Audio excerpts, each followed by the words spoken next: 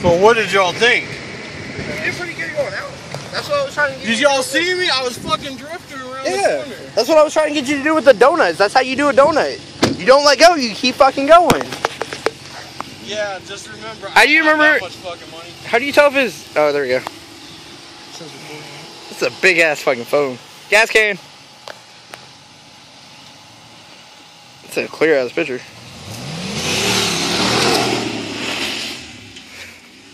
Love that fucking noise. Should have let off though. No, I should have stomped it. Right Yeah, when he starts to get. Yeah, you romp it. And you just kind of just adjust the wheel. I can do it. No, dude, you romp it. That's what Yeah. I'm. When you go around the corner, you He go. gets off of it. as he's stop starting and steer. He's, sca- he's scared. That's he needs to fucking- Because he's He's used to driving an 18 wheeler though.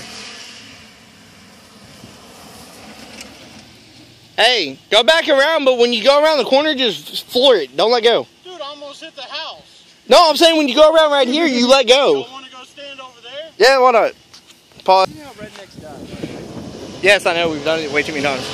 There you go. Woo! That's exactly how you do it. He like he fucking floored it the whole time this time. This is how you piss off the neighbors. Shit is